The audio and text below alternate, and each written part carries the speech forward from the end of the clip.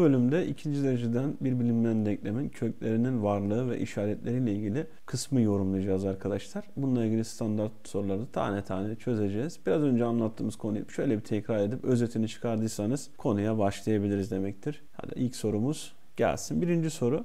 İkinci dereceden bir bilinmeyen denklem var bakın.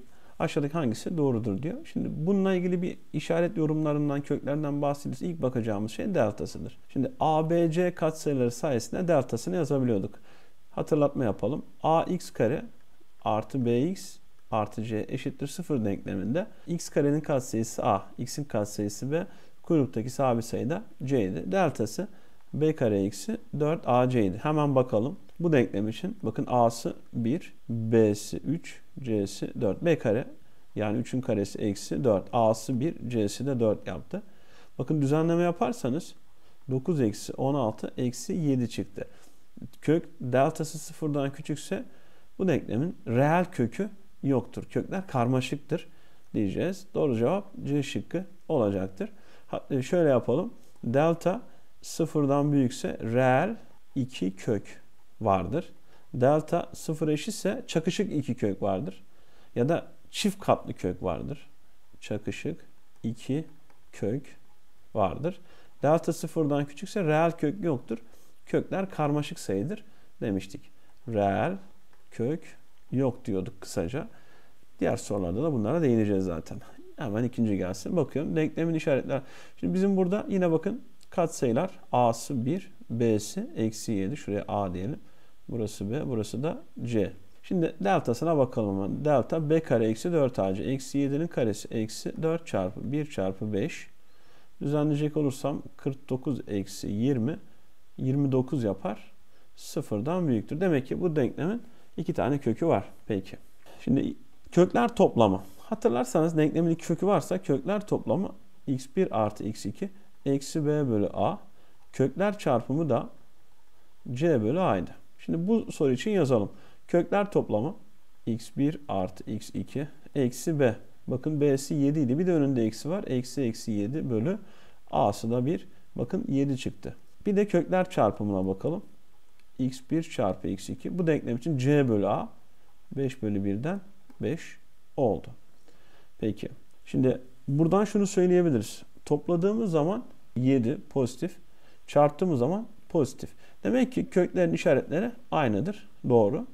Köklerin ikisi de negatiftir diyor. E, köklerin ikisi negatif olursa toplamları negatif yapmaz. Çarpımların pozitif yapıyor ama toplamları biz burada kökler toplamını 7 bulmuştuk. Bu yanlış. Köklerin ikisi de pozitiftir. Doğru. Pozitif iki sayının toplamı ancak pozitif yaptı. Kökler zıt işaretlidir. Yanlış. Gerçek kök yoktur. Hayır. Vardır. Dolayısıyla doğru cevap 1, 1 ve 3 B şıkkı olacak. Bu denkleme bakalım. Şimdi yine A katsayısı 1. Onu yazayım. A'sı 1. B'si eksi 4. C'si de eksi 2. Denklemi için aşağıdakilerin hangisi doğrudur demiş. Bakın kök katsayı bağıntıları ve işaret yorumu. O yüzden hemen deltasına bakalım. Çözümde ne dedik? Bakın delta b kareye eksi 4 ac'den 24. Demek ki denklemin iki tane reel kökü vardır. Tamam. Kökler toplamı. Kökler toplamı eksi b bölü a'ydı. Eksi b eksi eksi 4'ten 4 bölü 1. Şurada bakın eksi olacak. Eksi eksi 4 bölü 1'den 4. Demek ki kökler toplamı pozitif. Kökler çarpımı c bölü a eksi 2 oldu. Bakın kökler toplamı pozitif çarpımı negatif. Hmm. Demek ki burada şu durum var. Delta sıfırdan büyük olduğu için iki reel kök var ve çarpımları negatif olduğu için kökler zıt işaretlidir. Çünkü 1 artı 1 eksi olduğu durumda ancak bu doğru olur. Ve topladığımız zaman da pozitif olacak. Peki o zaman şöyle düşünün kökleri. Çarpımları negatif olan iki sayı düşünün. 5, 2. Topladığımız zaman pozitif olması için bir tanesi yani artılı olan mutlak derece daha büyük olmalıdır. Bu da şu anlama geliyor bakın. x1 x2'den küçük ve kökler toplamı bakın x1 x2'den küçük mutlak değerce bundan büyük oldu. Pozitif kök mutlak değerce eksili olandan daha büyük olmuş oldu. Bunun mutlak değeri 2. 5'ten küçük kalacak. Topladığımız zaman sonuç hep artı çıksın diye şöyle bir yorum çıkıyor. Bakın takıldığınız noktada ezberlemek yerine değerler verip gerçek sayılarla işlem yapıp sonuca gidebilirsiniz. Cevap Bursa. Denkleminin ters işaretli iki gerçek kökü varsa hatırlarsanız ters işaretli iki kökte ne demiştik? Delta'ya bakmaya gerek yoktur. Sadece kökler çarpımı negatif olma durumu incelenir arkadaşlar. Peki o zaman hemen kökler çarpımına bakalım. Hatırlarsanız c bölü a'ydı kökler çarpımı. Yani m eksi 1 bölü m artı 1 sıfırdan küçük olmalı dedik. İşaret tablosu yapıyoruz. İşaret tablosunda bir kök eksi 1 bir kök artı 1. İkisi de dahil değil. Baş katsayı artı. Çünkü bunun baş katsayısı artı. M'ye göre işlem yapıyoruz. Bunun baş katsayısı da artı. Köke geldim işaret değiştirdi. Köke geldim artı oldu. Hangi aralığa düştü bakın? Eksi 1, 1 aralığına düştü. Doğru cevap A şıkkıdır diyebiliriz. Tekrar söylüyorum. Sadece kökler çarpımından bahsediyorsa, ters işaretli iki gerçek kökü varsa kökler çarpımı yeterlidir. Denklemin kökleri x1 ve x2'dir. Ve bir tanesi negatif bir tane pozitiftir. O zaman kökler çarpımı sıfırdan küçüktür. Ve negatif olan mutlak derece daha büyüktür. Şimdi gözümde canlandırmak istiyorum. Mesela 7, eksi 7 burası 2 gibi olmalı ki değil mi? Bunu, onu söylemiş. O zaman kökler toplamı da x1 ile x2'nin toplamı da sıfırdan küçüktür deyip yorumlayabilirsiniz. İşte temel yorumumuz bu. Şimdi kökler çarpımı çözümden de faydalanalım. Kökler çarpımı sıfırdan küçük. Neydi kökler çarpımı? c bölü a yani m kare artı 4 bölü 1 eksi m sıfırdan küçük olacak. Kökler toplamı eksi b bölü a yani eksi 4 bölü 1 eksi m sıfırdan küçük olacak. İkisini yorumlayacak olursak bu denklemin kökleri bakın artı eksi 2 bir de 1 var. Birinci tabloda kökler yazılmış. Baş katsayı eksi. Köke geldim artı. Köke geldim eksi. Sonra artı oldu. Bizden sıfırdan küçük dediği yer şu mavi bölüm. Peki öbürüne bakalım. Bakın şimdi burada şunu yapmış. Her tarafı eksiyle çarpmış ki daha kolay olsun. Eksiyle bunu buna böldüğüm zaman 4 bölü bu eksiyi bununla m eksi 1 sıfırdan küçük olsun demiş.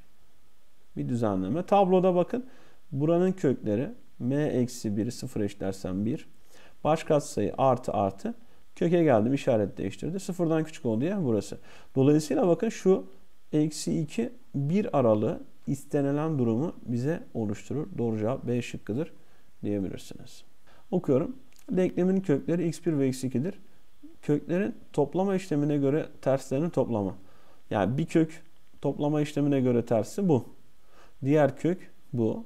Çarpma işlemine göre terslerinin toplamından büyüktür. Çarpma işlemine göre tersleri 1 bölü x1, 1 bölü x2'den büyükmüş. Şimdi buraya eksi parantezini açıp düzenlersek bakın eksi parantezini aldık. Şimdi kökler toplamı. Kökler toplamı eksi b bölü a'ydı. Yani eksi eksi bölü a bir sayısı yaptığımız zaman bunu elde ediyoruz. Bir de başında eksi vardı çünkü. 2 eksi bir artı yapıp bunu oluşturdu. Kökler çarpımı. Şurada payda eşitlersek kökler toplamının kökler çarpımının oranı da bunu verdi. Hepsini bir tarafa toplayıp düzenleme yaptığımız zaman paydalarını eşitleyip ikinci dereceden bir denklem ve bir doğrusal denklem yani birinci dereceden denklem elde ettik. Bunların köklerine bakarsak onların köklerini hemen ayıralım şurada. Burası m, m, 5, 1 artı artı. Yukarıdan gelecek köklerden bir tanesi 5. Aşağı bir tanesi pardon bir tanesi eksi 5. Bir tanesi eksi 1. Bir tanesi eksi 4. Bu kökleri yerleştirdik işaret tablosuna. Bunun baş katsayısı artı. Bununki de artı. Artı ile başlıyorum. Köke geldim. Eksi oldu. Artı. Köke geldim. Eksi oldu. Sıfırdan küçük olduğu yeri sorgulamış. Bakın bu aralığı alacağız. O zaman eksi sonsuz. Eksi 5. Bileşke. Eksi 4. Eksi 1 aralığını aldık. Buna göre m'nin alabileceği en büyük tam sayı değeri. Bu aralıktaki en büyük tam sayı değeri bakın eksi 2 şuraya düşecek. Eksi 2 olacaktır. Dolayısıyla doğru cevap da A şıkkı olur. Yine A'ya bağlı iki dereceden bir denklem vermiş. Denklemin kökleri bu. Bakın zıt işaretli iki kök var. Bu hemen şu anlama gelir. Kökler çarpımı negatiftir. Ve o negatif kök mutlak değerce bundan daha küçük kalıyormuş. Yani eksili olan mesela bu eksi 2 ise diğer kök atıyorum 6 gibi bir şeymiş ki mutlak değerce küçük kalsın. Bu da şu anlama gelir. Bu kökler toplamının pozitif olmasını gerektirir. Olması için A'nın değer aralığı aşağıdakilerden hangisi olur? Evet başlıyorum kökler çarpımına. Bakın denklemin baş katsayısı B'si ve C'si bunlar. C bölü A yani 2A bölü X artı 2 birincisi. Kökler toplamı eksi B bölü A, A artı 1 bölü A artı 2 oldu. Bu denklemin köklerini de alalım ikinci. Bak birinci denklemde şimdi birinci denklemin köklerini bir yazayım. Bak burada 0 A 0 bir de eksi 2 var. Bunun köklerini alacak olursam şu eksi dursun. A eksi 1 A eksi 2 oldu. Eksi 1 bakın eksi 2 ortak yazdık. Şimdi eksi 2 eksi 1 0 kökleri sayı doğrusunda küçükten büyüğe doğru yazdık. Eksi 2 eksi 1 0. Şimdi birinci denklemin kökleri bakın 0 ve eksi 2. O yüzden köke kadar geliyorum. Baş katsayısı artı. Burası artı, burası artı. Artı ile geldim. Eksi, eksi, eksi devam ettim. Sıfırdan küçük olduğu yer şu arası. Burayı işaretleyebilirim. İkinci denklemeye geldim. Kökleri bakın eksi 1 ve eksi 2. Eksi 1'e bir boncuk. Eksi 2'ye bir boncuk. Baş katsayısı eksi. Çünkü eksiyle gelecek. Eksi, eksi. Köke geldim. Artı, eksi. Benden ne istiyordu? Pozitif oldu ya burası. İki defa taralı bölge eksi 2, eksi 1 aralığı olacaktır. Bakın tekrar söylüyorum. Öncelikle denklemin katsayılarını kafadan belirleyeceğiz. Sonra kökler zıt işaretli olunca hemen çarpımına bakacağız negatif. Bir de köklerin mutlak değeriyle ilişkili bir yorum verilmişse de toplamına baktık. Bakın burada delta'ya bakmaya gerek yok. Sadece kökler çarpımı negatifse bir kökler çarpımına bakıyoruz. Onun dışında mutlaka diğer yorumlarda gerekiyor. Peki 8. soru. Denklemin kökleri x1 ve x2'dir. Olduğuna göre P'nin alabileceği değerler kümesi aşağıdakilerden hangisidir? Şimdi biri hemen karşıya atmam lazım. Şimdi payda eşitlediğimiz zaman burayı x2 ile burayı x1 ile bakın burayı x2 ile burayı x1 ile çarptım. x1 artı x2 bölü x1 çarpı x2 birden küçük olmalı. Kökler toplamı. Bakın işaretleyelim. A'sı 1. Burası B katsayısı. Burası da C katsayısı. Kökler toplamı yazalım. x1 artı x2 eksi b yani eksi eksi 2p bölü 1'den 2p yukarıya gelecek. Kökler çarpımı c bölü a p eksi 2 bölü 1'den p eksi 2 de aşağı geldi. Biri karşıya atalım hemen. Attık. Payda eşitlediğimiz zaman bakın şurada payda eşitledim. 2p eksi p artı 2 bölü p eksi 2 oldu. Ne zaman sıfırdan küçüktür? Yani p artı 2 bölü p eksi 2 ne zaman sıfırdan küçük ve eşittir. Bunu yorumlayacağız. İki kök var. İşaret tablosuna iki kökü yazdık. Eksi 2 artı 2. Baş katsayı artı. Köke geldim. Eksi artı olacak. Burası sıfır eşit olduğu için eksi 2 dahil olacak. Benden sıfırdan küçük olan bölge istediği için bu arayı tarıyorum. Bakın eksi 2 kapalı. 2 açık. Çözüm kümesinde yer alır. Doğru cevap C şıkkıdır diyeceğiz.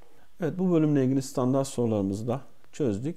İkinci dereceden denklemin kök katsayılar arasında şuna dikkat edin. Kökler çarpımı negatifse sadece kökler çarpımı ile ilişkili işlemi yapıyoruz. Onun dışında bir defa kökler kök katsayı yorumlarına çok e, dikkat edeceğiz. Standart sorularda görüşürüz arkadaşlar.